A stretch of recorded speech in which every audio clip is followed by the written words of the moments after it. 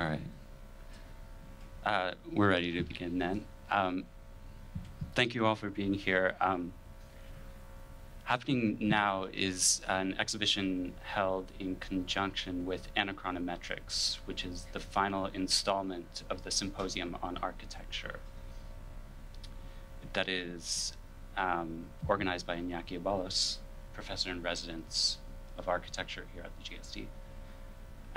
This semester, the symposium asks architects to share how they are encountering the past and the future in their work today.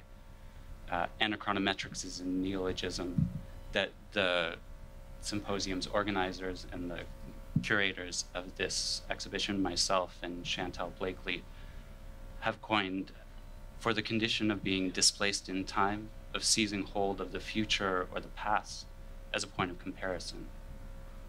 So, in order to begin this conversation, the exhibition exposes a collection of objects from the special collections here at the Loeb Library, here in the reliquary, and then there are objects that are too fragile to be taken out of the special collections projected on the wall here.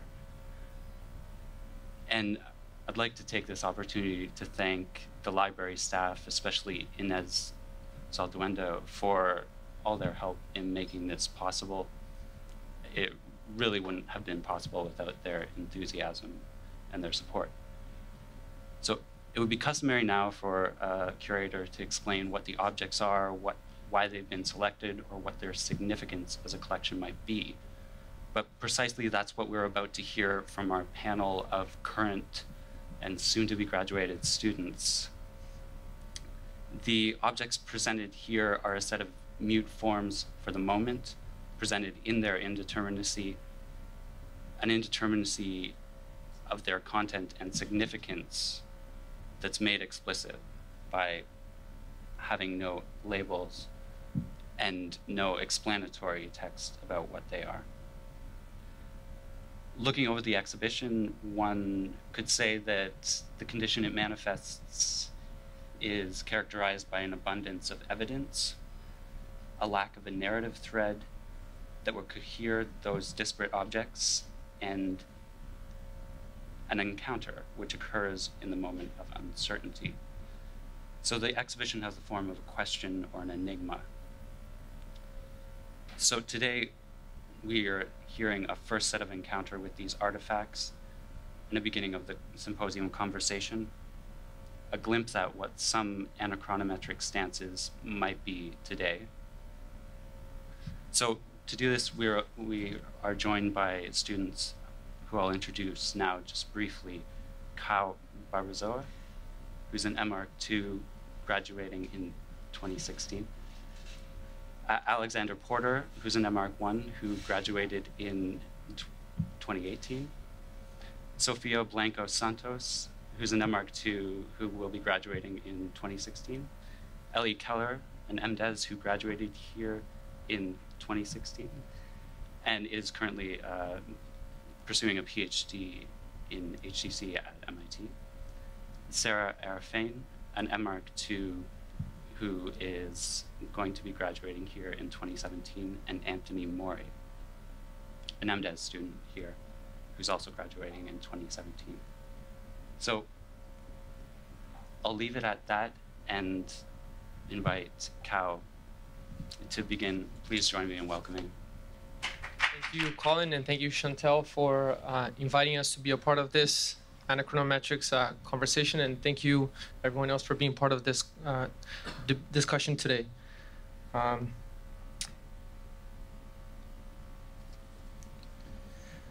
for as long as arbitrariness exists, you and I will still have a place in architecture.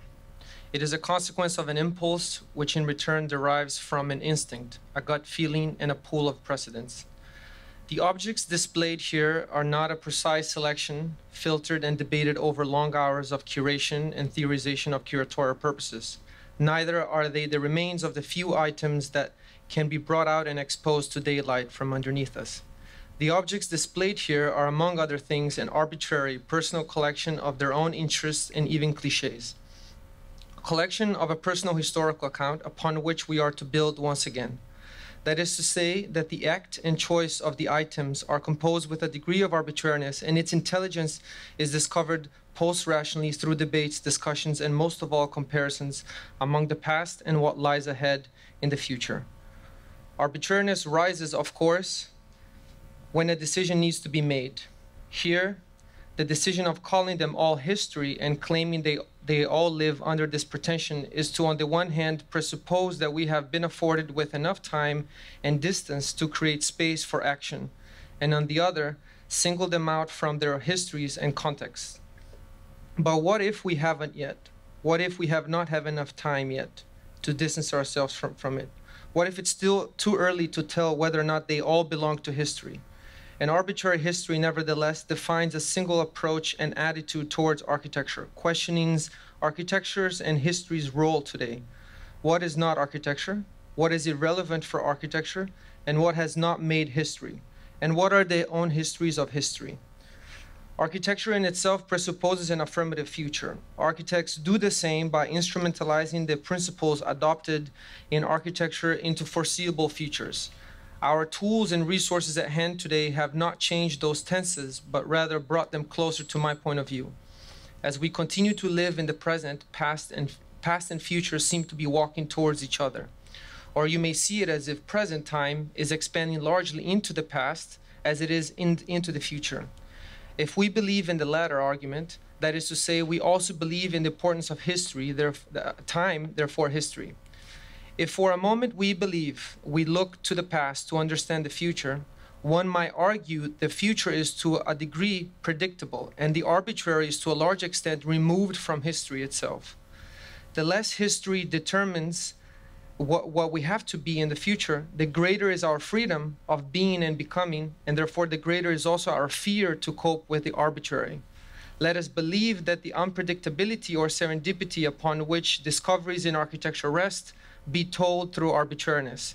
Let the alternative modes of history from the past and present unfold in whichever arbitrary way as they would so that utopia can once again become a tool where it is no longer just an image of our predictions, but can equally inform the present and even the past. I do not equate all, all past with history when discussing architecture in the same way that I wouldn't claim that what lies ahead is already historical material to be unfolded. At some point, a decision an arbitrary one will be made and history will fall in place. What is certain, though, is that history will always be there, potent and charged. To be arbitrary is to perpetually include alternative histories and to continuously speculate and stay critical about the presupposed truth of history. We have proved that between the design techniques offered by our faculty and students, the means and methods through which we either organize and design, and how we render and represent space as demonstrated in interior matters, we have proven that this project has indeed not finished. It is the zeitgeist of our time. One evidence is the disappearance of the clean-cut render. Now the collages, apart from all of this, are meant to also make you pull from the past and use it, traditionally and historically. And so perhaps that is why they choose they chose the topic for this symposium, because among all that is solid, all that is beyond the present remains.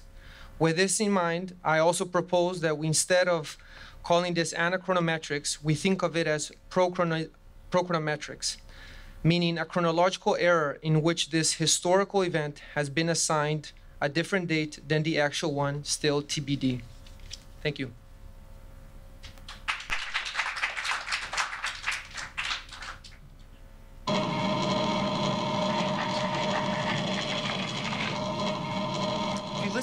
Closely, you might still be able to hear it. The needle oscillates with precision, riding the grooves that pass like so many mechanical waves, washing ashore over figures drawn in the sand.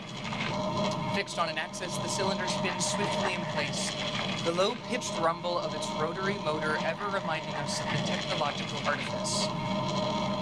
Needle floats steadily above the cylinder as the voice rises in the nasal, warbling whine of speech, and the scratchy likeness of the storyteller leaks into the room the The story being told is the operation of the graphophone, the Volta company's late 19th century model based on Edison's phonograph or speaking machine from 1878.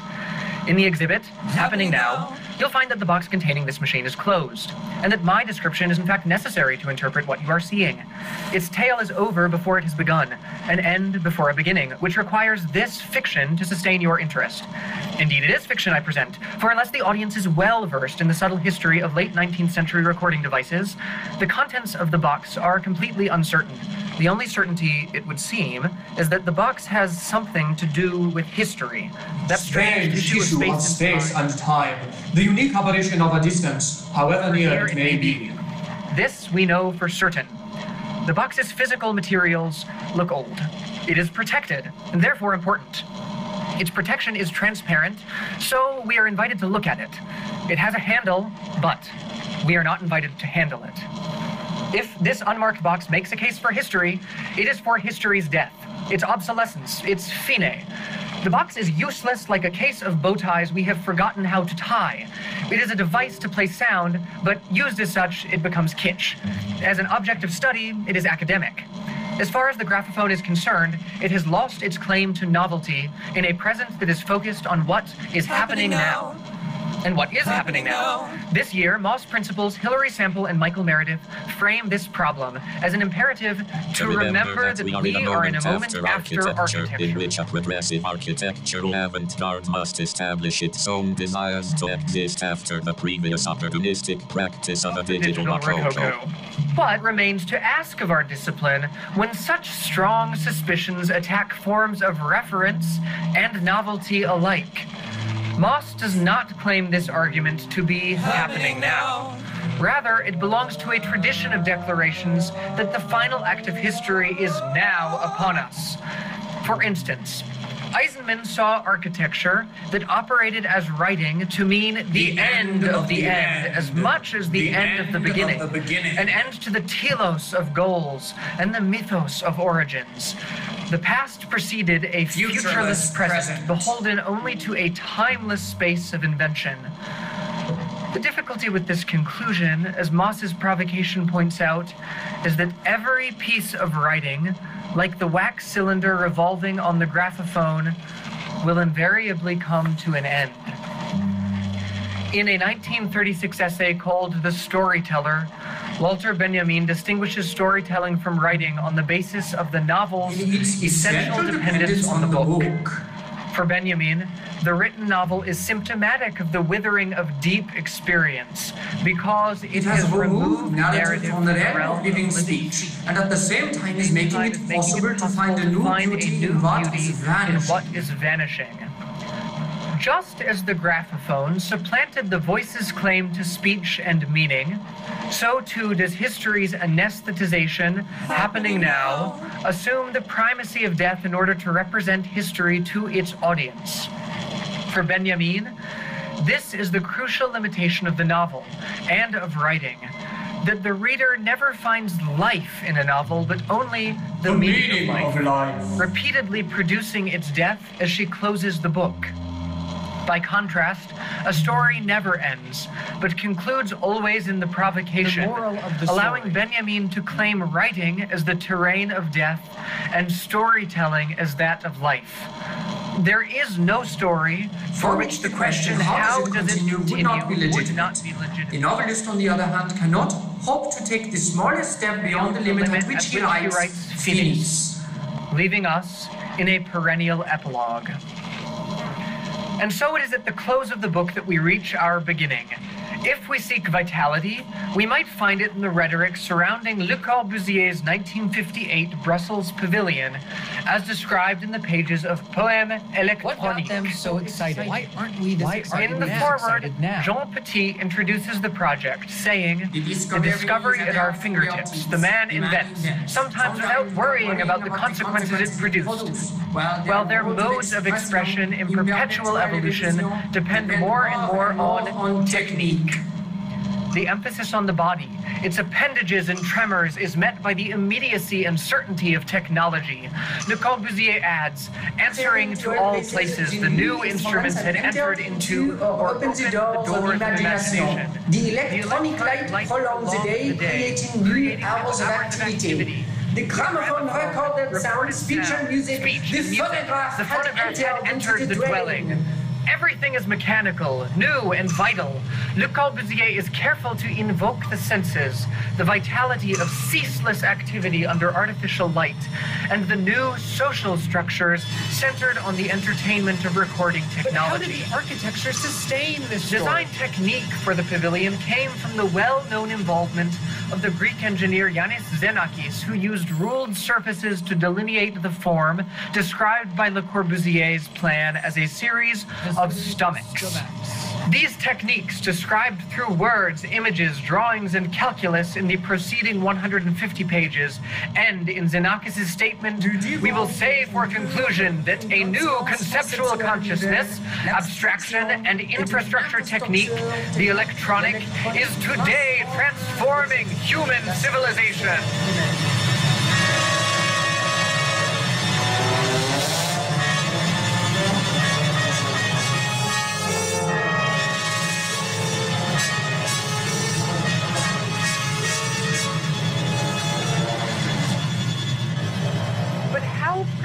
Did this technique relate to the story being told? Certainly, Xenakis' formal and construction techniques sort of paralleled sensory media novelties in the pavilion, but how do we use them to arrive at a story about newness as such? While hyper-rationality seemed new at the time, the concept of rational technique is very old. In Book 6 of the Nicomachean Ethics, Aristotle distinguishes between techne and episteme among the forms of apprehension and knowledge. Episteme concerns an, an object, of scientific, scientific knowledge, knowledge, while techne refers to the characteristic or trained ability of rationally producing it where episteme is cast as the sweet fruits of well-studied pedantry, techne is a mode of production whose results do not contain fact, but the likeness of fact, rationality. Aristotle goes on to say that artistic works are those with the, the characteristic, characteristic, of producing, of producing under, the, under guidance the guidance, of true of reason. reason. Unlike episteme, which stockpiles truths as they are discovered, techne is only the characteristic of rationality. Indeed, that same characteristic of rationality, of the production of something new, imbues the poème électronique with a certain novelty of which Xenakis' formal techniques are the vessel. Using Aristotle's logic, Xenakis claims the pavilion's novelty as a discursive fiction, fiction a fiction that is made plausible by his commitment to the characteristic of rationality, developed through his technique. Techne supports this fiction. It is its medium of expression, the set of rules by which the statements of discourse lay claim. The techniques themselves are real in the same way that fictions are real. But fictions are not always novels. We want fictions, not news. Fictions employ technique. News delivers fact. Sordid fictions clutter our bookshelves. Rotting newspapers litter our waste bins. Fictive technique emerges when architecture can outlive its own novelty. It jumps past the present to become the future as the past. Intentionally confused. Said a different way, fiction is the quality I use to describe the object as it becomes history. This is why the value of techne as storytelling must exceed the rational information it sequesters. As Benjamin contends, the value of information does not survive, the moment, the moment which it was new. It, was it lives only in that moment. It has to surrender to it completely and explain itself to it without losing any time. Techne allows us to escape from novelty's clutches as we hasten to explain ourselves. It keeps the story alive beyond the moment of.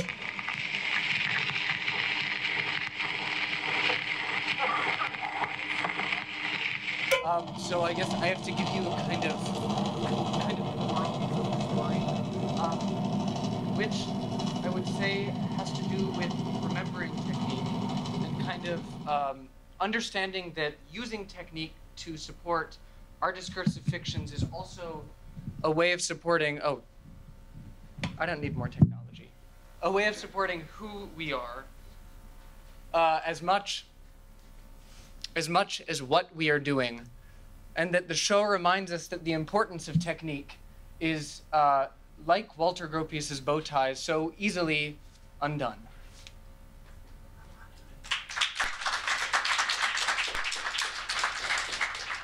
Well, hello everyone. Thanks for for coming. Uh, I'm actually not gonna comment in on one of the objects we have here.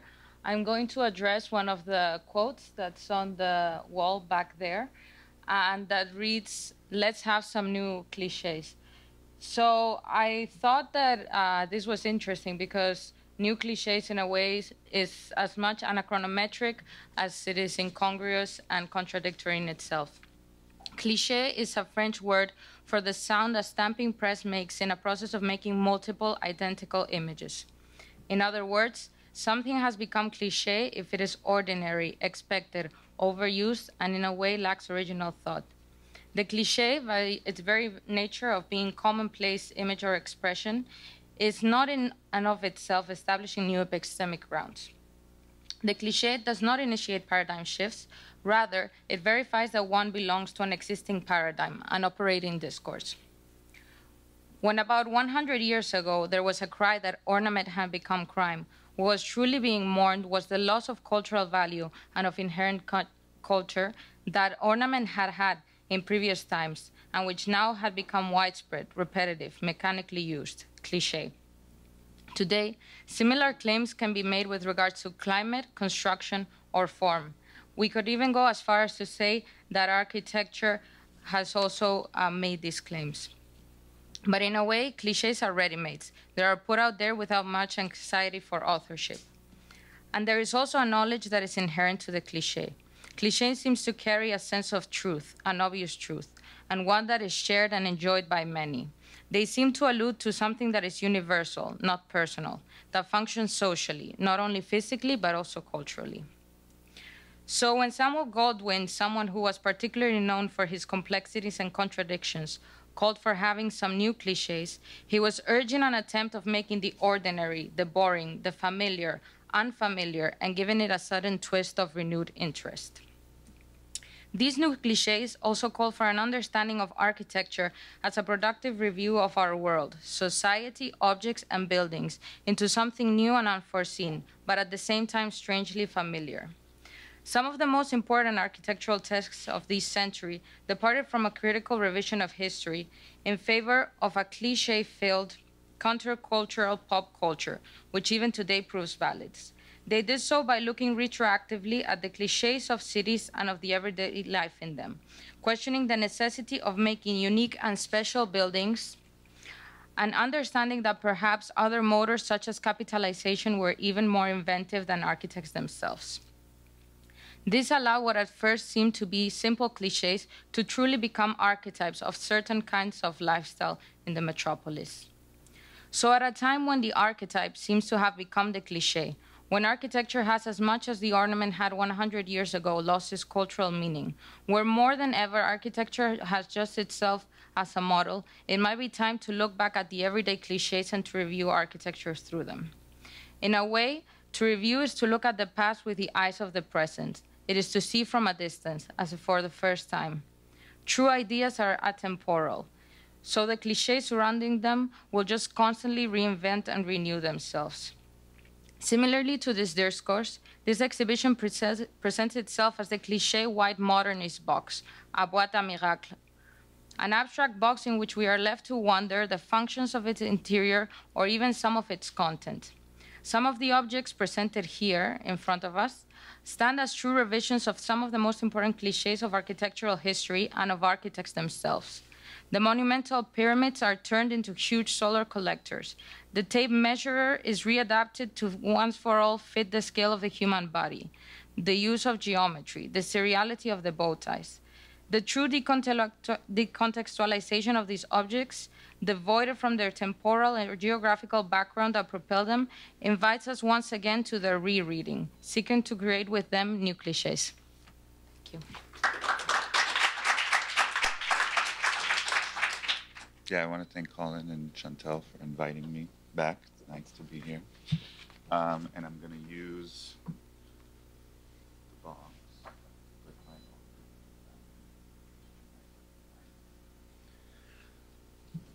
Um, so what I would like to talk about um, is names and a tower, unnamed.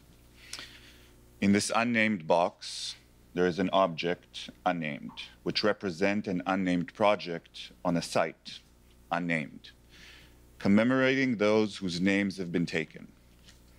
A book of unnamed histories, of architectural tracings, unnamed, that are nothing but figments of a past effaced and unnamed, not diagrams but ghosts, as their creator named them, whose provenance has been taken away, bringing them all into our present, unnamed. I do not remember being given a name, too young, too loud, too long ago. But, and all of you in this room are probably like me, except for these objects, we're giving a name. One that stuck, one that we carry with pride or with shame, one that has given us by virtue of our parents, our ancestors, the initiators of our own histories, a place and time. Now, and as long as we live, our names will be a point of reference. So let us build ourselves a city with a tower that reaches to the heavens, so that we make ourselves a name. Make a name for ourselves. But how does one give oneself a name? How does one create for oneself a history? We are all given names and we carry them wherever we go, present ourselves, leave our traces. But the questions of names, of name given, giving and name taking is a question of history, of history making and history erasing. And it is, it is a question of making of place. So make a name for ourselves. These objects have names, no? They must, they must do. What are they? I'm certain that some of you know. I know that we do because we've been told. They're too important to be left without a name, without a history, without a way to be called into place. But, and by the virtue of a curatorial decision and the people named on the wall, these names, their names, the names given to them have been taken away, erased. Erasures imply former existences. Their place, though, has not been taken away. Rather, devoid of their names given, history disappears. All objects are brought into our present, allowing us, histories in the making and makers of history, to invent each of them, for each of them an artificial past, to fabricate a construction of time, to designate places, otherwise we will be scattered over the face of the whole earth. In this book, right there, whose name has been taken away, there are structures ghosts, apparitions, victims. Each structure has been named. It says so on the first page.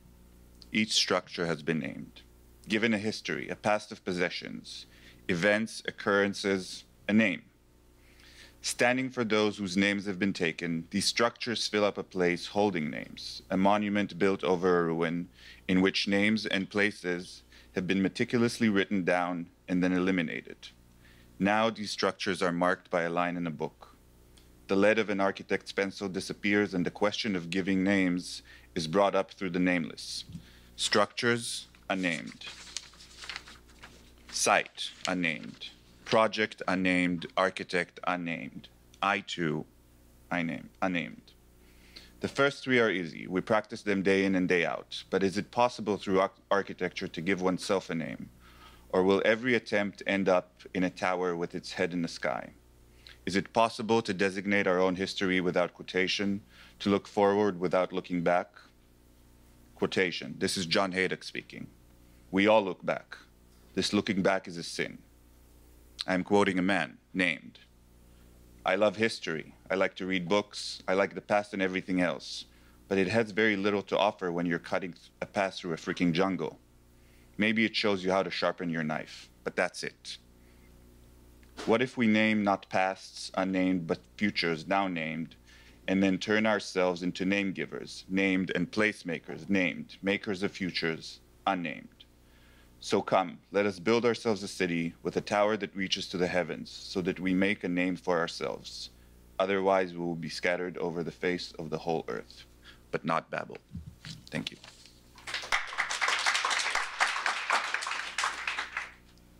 Okay.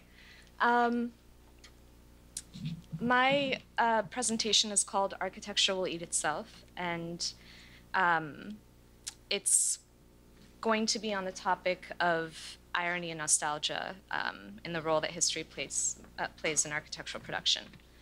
Um, so I first want to start by briefly considering uh, the Ouroboros as a model of understanding history and creative production. Um, the symbol that you see on the slide is um, an ancient symbol called the Ouroboros, uh, which represents the concept of eternal return. Um, it's uh, related to an idea that the universe and all of existence has been reoccurring and will continue to reoccur in a self-similar form in an infinite um, uh, number of times across time and space. Um, so this repetition of history, the acceleratingly circular nature whereby each moment negates the one before it, trying to be the new now, the next now, and to make whatever used to be now look like then, um, is viewed sort of negatively as a self-consuming um, aspect of the role of history in architecture. Um, on the other hand, uh, one way to view the Ouroboros is that all cultural production and the role of history in um, creativity is self-begetting, that um, there's this kind of self-sufficiency of nature and a self-fecundation, um, that life feeds off of itself, that it begets itself, it weds itself, it impregnates itself, it slays itself, and that history is the prima materia of art. Um, so uh, in a similar way, one can see two emotional styles that have um, characterized attitudes towards history um, in architecture. On the one hand, there's nostalgia, which views history um, in a longing way, as in a with a kind of sentimentality as something to be returned to. And on the other hand, um, there is irony, which um, treats its historical references with um, a slight disdain um, and even a sense of mockery. Um, and I'm going to argue that both of these attitudes towards history are um, a kind of emotional coping mechanism, and um, that often they are like in a dialectic to each other. Um, I'm going to start by defining my terms. Um, the concept of irony uh, originated with Aristotle, um, who said that Socrates was the um, typified the attitude of irony um, as a kind of acceptable form of dishonesty. Um, he also, um, in Nicomachean Ethics, he talked about a series of virtues by which you have to um, establish correct behavior. And um, this correct behavior and acting appropriately in a situation is sort of the initial concept of coolness. So one considers, in modern times, we consider someone who acts the right way at the right time or says just the witty, um, witty saying at the right moment as someone who's typifies coolness. Um, then the concept is evolved in sprezzatura in uh, Renaissance Italy um, by Baldassare. Um, and you can see this concept uh,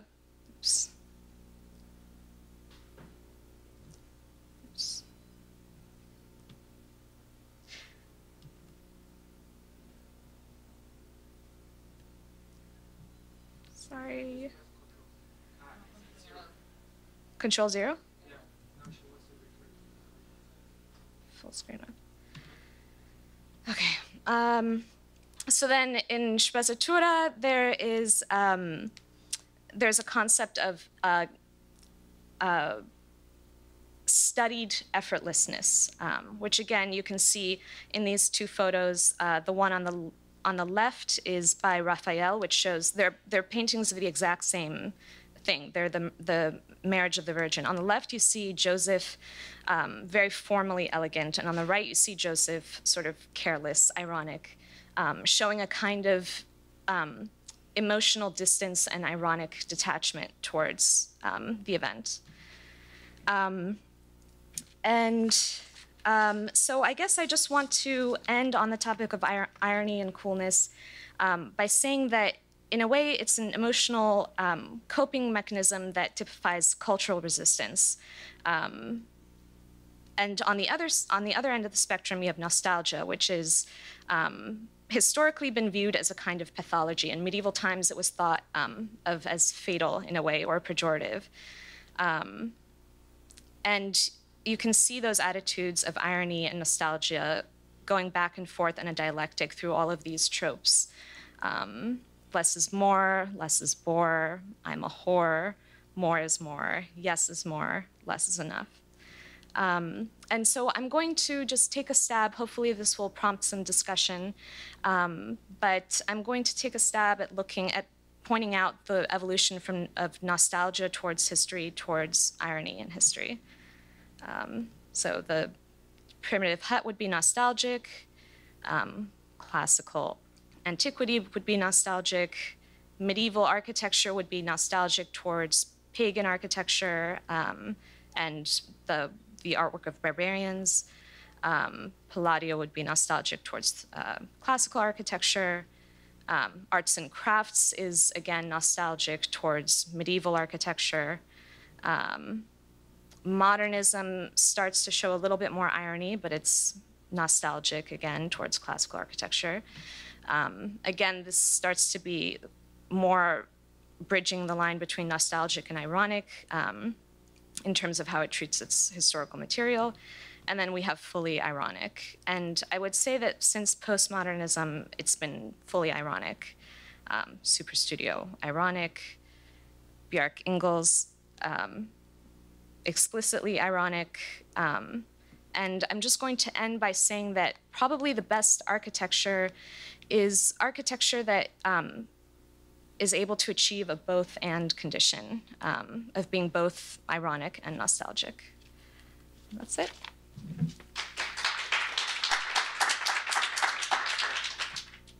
So, the conference or symposium is called Happening Now, and I have no idea what that implied when they told me. Um, it was a provocation given, and yet it it seemed to be explicitly contradictory. How could you possibly know what's happening now, right? When a moment becomes a happen, it's no longer now, and when a now cannot possibly have happened because a happen already implies that it's being recognized as happening. So the contingent factor in this whole conference is that there's an I, there's a me, there's somebody to witness the happening or the now to exist. So happening now, a single phrase implies that the past, as it, as, as it is seen through the usage of happening, the current with the existence of the I, and the future with the connotation of some sort of a projective now. It's this awkward triangle of past, I, and future, and this somehow seems to bring up the implication of the ghost of history amongst everyone. So the now, it's happened. And never has history been so much all around us, we can't escape it. Never has history been so popular. Every corner we look around, history is waiting patiently. It's as if history has taken over. There's nothing but history. Everything is history. Is is the new now then history? Are we living in histories now? Does history dictate our now? Is everything only history? Or are we just characters in history's story? Or is it the storyteller that we're just living in? And yet, this conference, this symposium, this provocation is a conversation of history. But what we have before us are just objects quintessential objects neckties, notebooks, and sketches. If my memory serves me right, when Collin and Chantal approached me, they said this was a conference on history, of pondering history, a conversation of our time and place within it. A conversation of mortality, desire, knowledge, creativity, and rules. So, what did I miss? It appears that what we have in front of us is history. It appears to be a collection of objects isolated in a box, covered in plastic, with the aura of history emanating from every corner. At least that's what they told me to believe when they told me about it. When we go to a museum, we discover history, and yet again, it's presented as objects on top of podiums or in a case promptly declared as an artifact of history. We stand before them and feel history around us, somehow exuding from the cold marble or frigid air, meant to keep history safe, preserve it, keep it alive. But yet, maybe it should just die. When we go to a library, we see history standing face to face, spine to spine, layers upon layers of history, stitched in leather and cardboard, all preserved in brisk, crisp, again, cold air solidified on metal racks, intended to keep history at arm's length at any moment. But what happens when the museum is nighttime, when the library is in nighttime? What happens to this box of items when the library closes? Is it nothing more than a privileged, obsessive, compulsive hoarding disorder, solidified by a really, really cold atmosphere? Is it just a series of items saved from the garbage disposal called time, forever destined to the beckoning demands of theorization and historicity of humanity? Are these history? because I don't see it. Where's the history? Where's the current? Where's the I?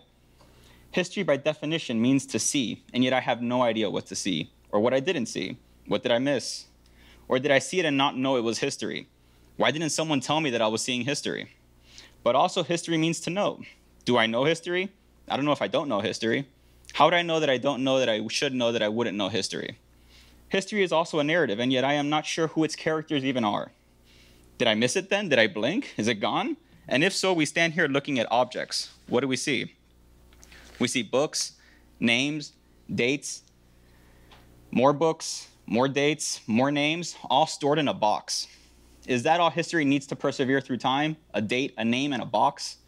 Why does this collection of objects become equatable to history? When did seeing become comparable to keeping and preserving?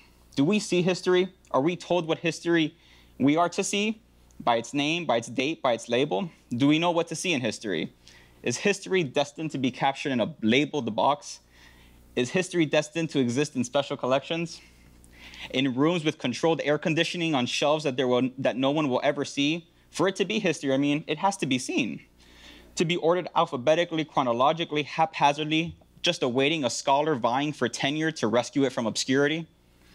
Does it rescue then again? Does this rescue again destine it to be solidified in just one more text, numbered and recorded and lost from sight all over again, removed from our own narrative? When did the aesthetic of history shift from reality to the archival? Has history shifted from a moment, from a way of discovering, from seeing from reality to seeing itself, to the aesthetic of objects? To make case pointed fact, we have a box of archives. And that's history.